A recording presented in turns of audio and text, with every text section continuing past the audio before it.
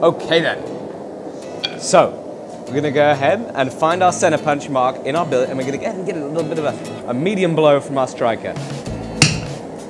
This is gonna begin setting our hole up. And we can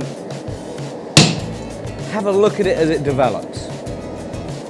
It's really key to take your time with this. Notice we only hit once and we rotate after each blow. The reason for this is, is as our punch goes into the material, I can check to make sure it's nice and straight.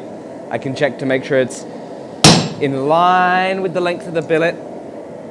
And we can make any adjustments and corrections that we need to make before rather than after. There we go. And there is a beautiful, freshly punched plug. You can see it is the negative of our punch. Okay then, so now we're going to go in the other side, drive the drift till it fills the eye, and then we're now going to go ahead and hit to the high side of the cheeks. This is going to create three valleys. Here we have 14 year old Felix from Austria swinging a sledge. And I can assure you, if he can do it, anybody can do it. That's actually that's pretty insulting. That's not actually what I mean to say. What I mean to say is anybody can swing a sledge. And here is proof.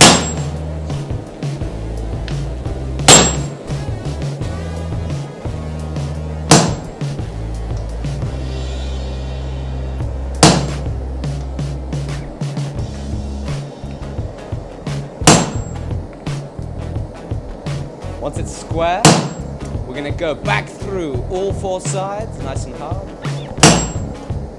And we're gonna begin in the middle of the cheeks.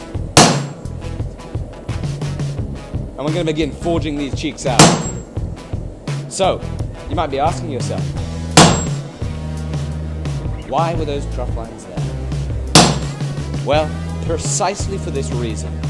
Were it not for those trough lines being there, we wouldn't be able to get in here with these fullers, and we wouldn't be able to draw the cheeks out enough. Without being able to draw the cheeks out enough, we wouldn't be able to get as much contact with the handle in the eye as we need. Right here, boom. Same thing on the other side. And then the next ridge up top put my touch mark. The same thing on the other side. Let's give a big round of applause and a thank you for Felix for striking so well. Thanks. All the way from Austria, 14 years old.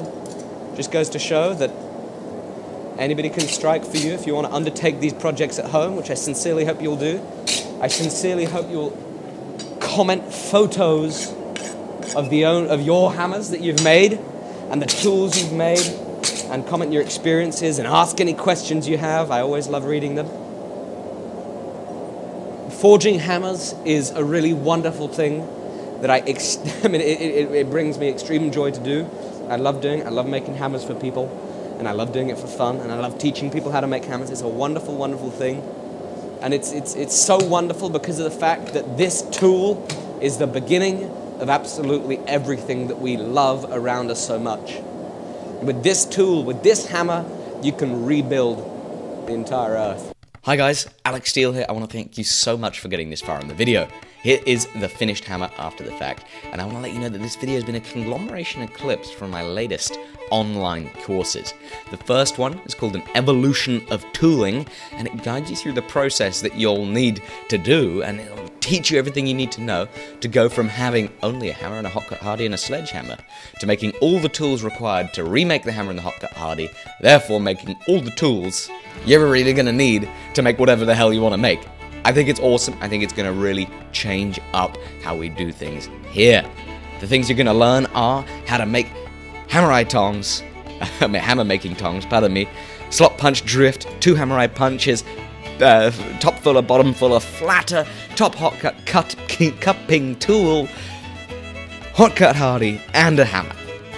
That's outstanding. that's an awesome amount of stuff that's going to be covered. There's five hours worth of video. I think you're going to really, really enjoy it, and I can't wait to see the projects that you make once you work through this course and go back to the workshop and practice on the weekends, etc., etc. Second online course, it uh, it's for somebody that might not potentially want to go through the effort of going through all the tool making, who potentially has some tools already, and that is just how to make a rounding hammer. And I'm sure some of you are going to appreciate that it's kind of separated like that. If you just want to learn how to make a rounding hammer, you can do that too. You don't have to go through the extra expense. So, guys, you can go ahead and run over to my website now at beginblacksmithing.com if you want to learn about tool making, if you want to make your own tools, if you want to, you know, you want to start stepping your hobby up and beginning to have a huge amount of fun. I assure you, hammer making is awesome. It is absolutely outstanding. Hope you guys have a lovely day. Remember, beginblacksmithing.com. Thank you so much. Thank you so, so much. Bye bye.